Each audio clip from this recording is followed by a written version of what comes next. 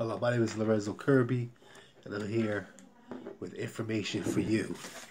Uh, this is a video on how to apply for a tax refund uh, after you filed. Um, the book, the book actually is uh, seven dollars. They tell you the ins and outs, the rules, the regulations.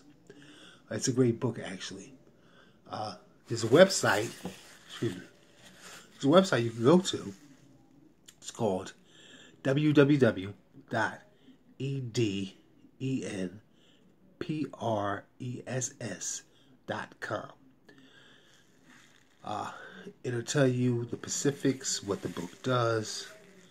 Uh, actually, it's a nine page book and it's very simple to use. Um, uh, you know, so you should go here.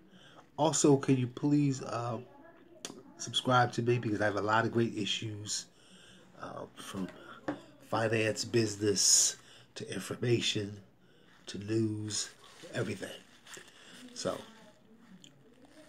uh, there's over 250 books available. So um, you can actually you can actually go to the website, you know, and order your book. And um, you know, usually usually takes about about two to three days to receive.